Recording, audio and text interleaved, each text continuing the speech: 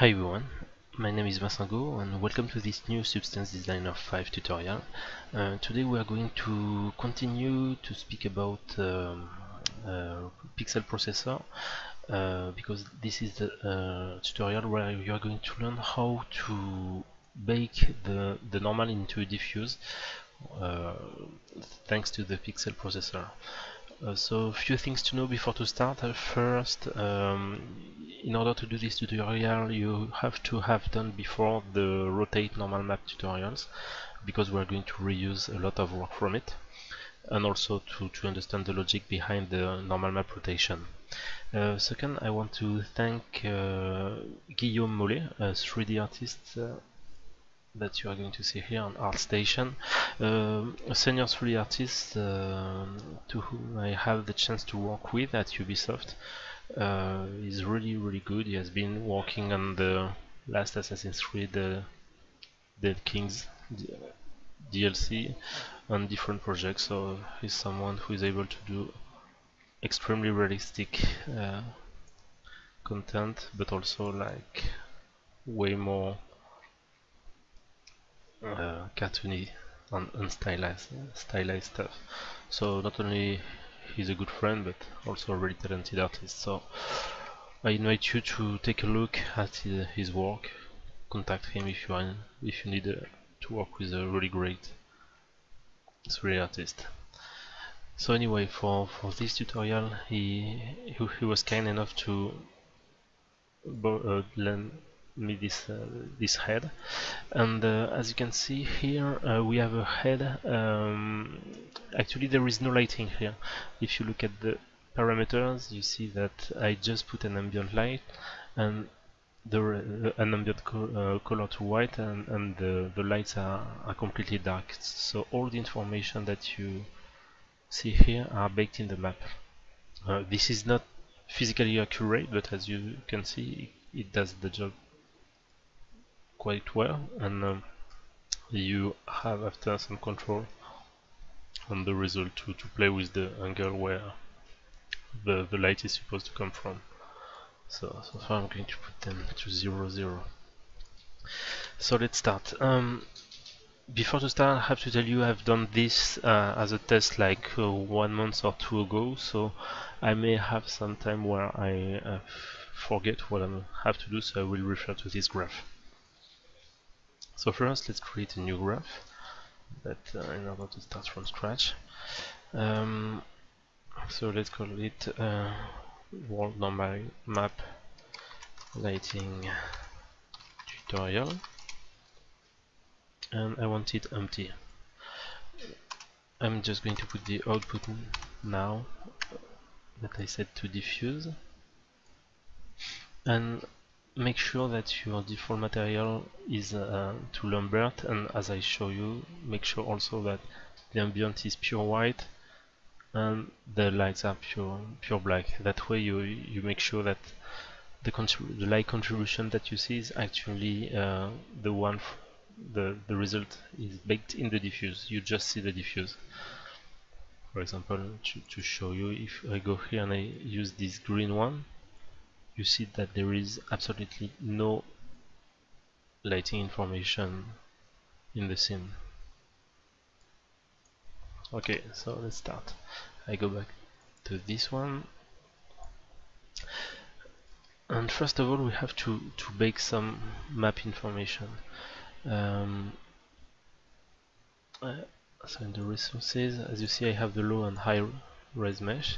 So what I invite you to do is to open it, open the baker and you need all these maps, the normal map from mesh that I use actually because I do some uh, other baking that use the, the pre-baked normal map. So you need normal map from mesh and ambient occlusion, world space normal map, position map and thickness map which uh, actually uh, is like an ambient occlusion but the ray around it looks inside the mesh uh, and it's really um, useful if you want to fake uh, subsurface scattering which is like the the dispersion uh, of the of the light below a surface like the skin or a candle for example. And we're going going to use this map to fake it. So I, I won't do the, the, the bakes now because I did it already so it will be faster. And in order to start you just need to use the world space normal map. So which is this map as you see. I assume that you know what is a world space normal map. And let's create a pixel processor node. Uh, so as I told you uh, I assume that you have seen the the rotate normal map tutorials because we are going to to to use it uh, quite a lot so basically what we did in the rotate normal map is a function like this one which is a bit complicated but basically it's separated into two parts two parts sorry. One is uh, the the rotation physical rotation of the image that we won't choose and the second one is this part uh, a bit more complicated in that graph uh, which is the um, how to say that say that the uh, the color rotation the normal map color uh, rotation which means that it uh, it changes the the color uh, according to the new rotation value. So what I did uh, in order to make it a bit cleaner I, cr I created two functions which actually this one which is the physical rotation the, from the center of the image and this one which is the normal map uh, color rotation. And we're going to use this one uh, this one in our graph. So the good thing is once you have it here I cannot if I do like this it's just one node right now so it's way cleaner. I will have to tweak it a bit but at least uh, it will make it easier. So what you can do is to do control and drag and drop and I'm going to drag and drop it here so I can close this graph. No I won't change anything. So now where is it? I have this uh, rotate normal map color so let's go in this tutorial. Let's enter the pixel processor node. And first thing we do as uh, often often is to do a get float to like this because we want to grab the position of each pixel and we want to sample this image into this position. For each pixel we want to sample this image. So you use a sampler. If you if you have seen my previous tutorial it should be quite clear in theory. Theory. So I plug it like that. And now as I want to rotate the normal map color I will put the color sampler here. And I need a rotation value. So so far I'm going to create a float and we will replace at the end by a get float because this is this will be controlled by a, a parameter that we want to expose. So let's make it this way. This way. Let's be clean okay. And now you put it. Cancel sorry. Select this. I set as output node. And now if everything goes well. Uh oh I know why. Because I have to select this one. And I'm going to put a bigger value. To 124 okay it was this image which were selected. So if I go here edit. And I play with this value. You see that the color is rotating around. So that's exactly what we want. Now what we're going to do once we've done that first we can plug it here and in order to fake the light uh, this is the first version. I will improve it but um, first what we're going to do right now is to to use the the green channel only that we will consider as, as uh, our light source. You will see why. So what I want is to split the channel. So RGBA split like that and I want just to take the the green channel. And now I'm going to I'm going to show you something first I don't know yeah not the best way it's made but right now we are rotating into the blue because we are controlling the green and red one. So what I'm going to do first is going to the graph level by you double click on a, an empty spot and I will call it RG rotation. It will be a float and I want an angle. And it will be between 0 and 1 and default value to 0 so this is I I don't think I need to copy that. And I go back here and I'm going to replace it now. So what I do is I need a, a get float and let's see if we have yeah we have the RG rotation. And now this rotation is controlled by this parameter. So let's see how it goes.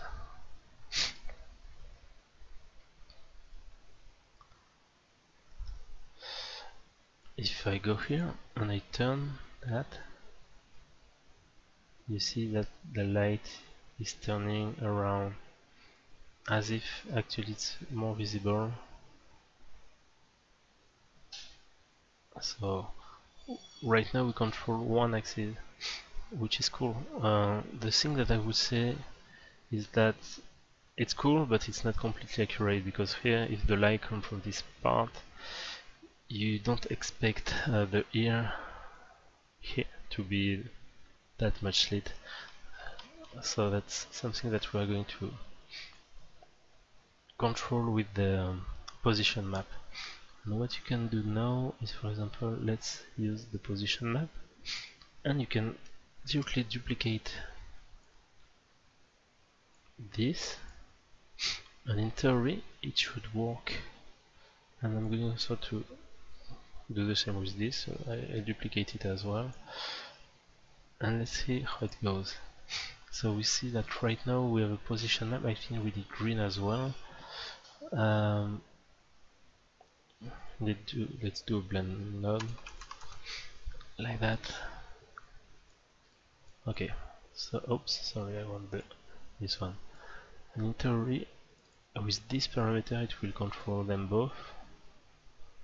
Yeah so you see that this is controlled. So we are going to use it as well but by default I think um, by default it should be fine so let's do something. We are going to blend them both together. Let's do multiply. Maybe multiply will be too much. Let's see. Okay so you see that it's way more believable. And if I play a bit you see that just by adding the position map and use it like a kind of a shadow to make a gradient it gives something way more believable. We're going just to try something to test. Let's look at this and let's see if there is a better multiply should be fine but who knows? Let's try different one. Copy of course. Let's give you the just the, the position map this one is not feasible because it's just adding subtract is not what we want. This one is so far our best candidate. Let's continue. This one is too bright. No no no. Maybe overlay will work we'll see. Overlay. Now you see overlay it's it's I think we will stick with uh, on screen screen is not believable. The, as I say it's not physically accurate but our best candidate right now is this one definitely. So let's continue a bit. Um, I used also a map called thickness and we're going to use it. So as you see I'm going to put it directly here so you see it better on the model. Actually what it does it looks at the model and and the the closer it is um, between it really project rays inside the mesh. So that's why on the ears it's really uh, it's really dark. Here it's quite you see that there is some points though okay let's use that. But what we want to do first is to invert that. So you can use a level for example or invert directly invert grayscale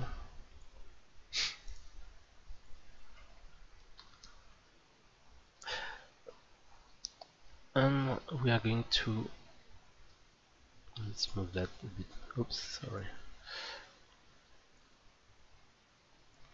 Continue that like that. And what we want to do is this to be a bit tinted when it's on the shadow actually so what we are going to do is to use this to, to control that so let's try some something so we, we will need a blend. Actually you know what? Let's look just to make sure. So here I inverted. I, I changed a bit the value in the with the level so maybe I will do this way. And then um, just by taking the okay so could do this way. I tinted it slightly. And so uh, let's make sure of what we have done. Hmm, I used the ambient occlusion. Maybe I could do that first. So basically I took this I use I added the ambient occlusion quite a bit of of shadow in the in the closy part played a bit with the levels see that? Actually it's inverted. Yeah I inverted it. And I blend it with this in order to fake the okay. So let's try to do something like that. It won't be exactly the same but we are going to try to, to get closer. So first have my ambient occlusion here. I'm going to make a first blend like that. So blend blend. This this. Multiply again will be the good one. And uh, you see that it's way too strong right now. So I'm going to diminish the value to something. Actually Actually, no, it's not. It's good. It wasn't the the same one. Like that. Let's see how it goes. Yeah, eh, it's quite good. And now we need to use this. Let's see that. Let's use a blend. Blend node. And let's subtract just to see. So it was this way right now it's this way. It may be too strong yeah? I don't know. Let's use it first this way to see how what we can do. Okay. actually we still want to subtract where it's on the shadow so have to find a way to do that in a good way. So let's use a blend node. Let's use a blend node. I will use the position. Sorry there is a bit of noise. Everyone is coming back from lunch. So let's play. What we want actually is to make sure that when we're in the shadow we see a bit of it but not that much. So maybe We'll try. Ah, this is not what we want. Mm, this one multiply, no. Actually we want the contrary, so... Ah, this one is fine. Uh, it's the max, so actually it's like adding a bit here. the max is not that bad. Let's continue. No. This could be fine if it's inverted. Um, so here, no, no, no. Okay, so let's try with this one. Well, okay, and then what we're going to do is to add a gradient map to this. Gradient map like this. And what I'm going to do with that is to I'm going to go on internet like that here, and I'm going to type a subsurface. Subsurface. And let's look at the image like that. Um, and I'm going to use this just to see if it works. I'm going to put on the left screen. Sorry you won't see it. Uh, so and I'm going to go here go to the gradient editor which is there and I'm going to use the pick gradient and try to use something like that. Oh there is points that I definitely don't want here. Like that.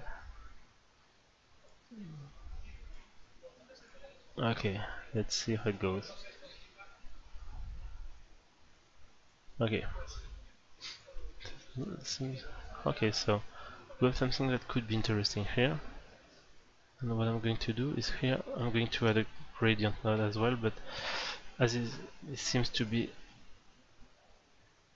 a black guy so I will type um, a free can portrait like that. And let's find a good image. Um, I want it with where I have some color variations. So let's I'm going to go with this guy. And same thing I'm going to create a gradient map. Like this. And uh, gradient editor pick gradient and I'm going to try to go from dark to black like this. Okay it's not okay it seems good. Well there is some artifacts here. Maybe in the gradient editor I can diminish the precision like that. Uh, so if I do 5 okay you don't need that yeah can simplify a bit. Okay so like that it seems to be good. What I'm going to do now here it's, it's pretty bad I think. So I'm going to just try to this won't work for sure actually. So I have to find another one. First you know what? I'm going just to use it this this way which is actually too strong. But what I'm going to do now is to mask it out according to the invert of that. So this I delete. This I'm going to create a level node.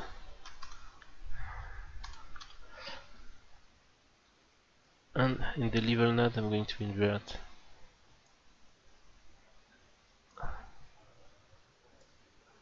Oops sorry not this one that I want to invert is this one. And let's see how what we can do with that. And we're going to blend blend it let's see. Octillium like that.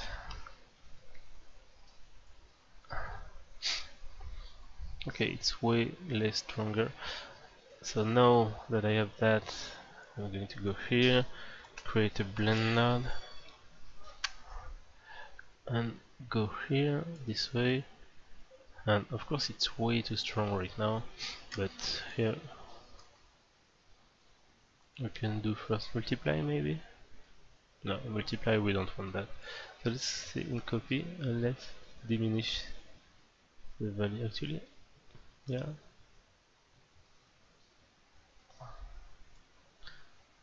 I think we need to remove this color and this one. Still the result is not exactly what we want. So I think we have to play a bit with the parameters. Uh, do we have time? I'm going to play like uh, two or three minutes uh, with it and then I will finish on a second video. So here we say we are going to re replace that by something else. Actually I'm going to replace by a level and I'm going to put it here of course that's not what we want but by doing that I have more control on the color spread. So so let's see. Now if I play with this parameter I can diminish the impact of, uh, of that. And I'm going to make it.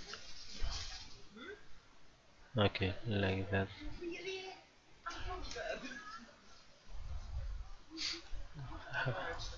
This I'm pretty sure if I put this back to full like that it's all obviously it's not good.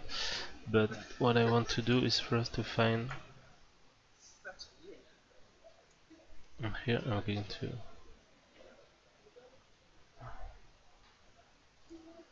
to make it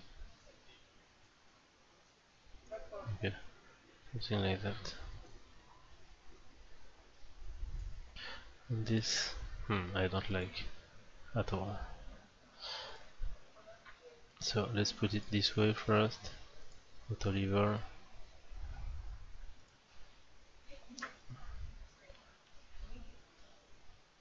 okay and this I'm going to change it a bit first I'm going to put this like that and let's play. This could be closer to no we don't see the, the other one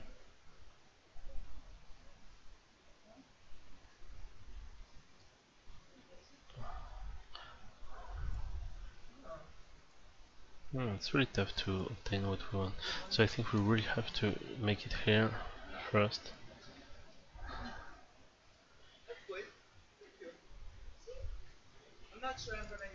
So guess I'm going to put something.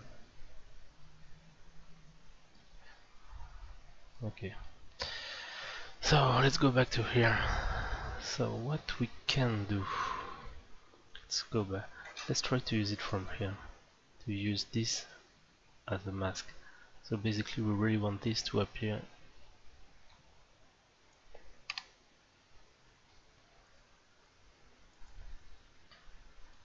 So this I'm going to do reset values.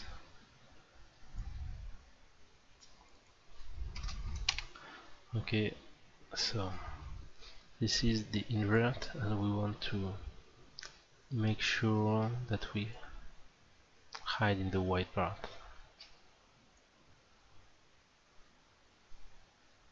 So let's add some contrast.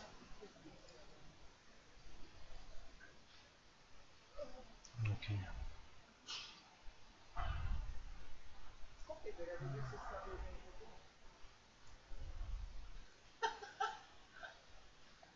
see that. Uniform color. To use that.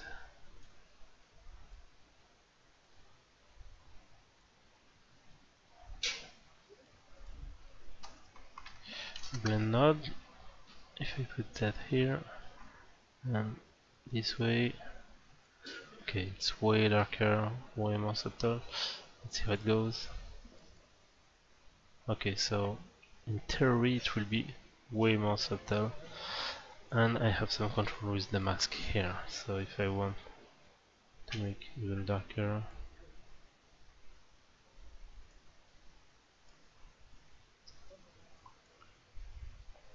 Okay.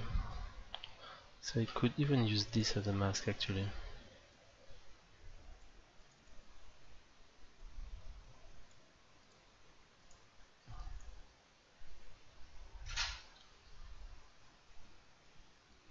Okay, it's not that bad. It a bit, it's a bit too too rough. So first what we could do is to go into the gradient map, maybe remove that. And second, this is way too too rough, so if I do that, you see that we start obtaining something interesting. And then we can decrease the value a bit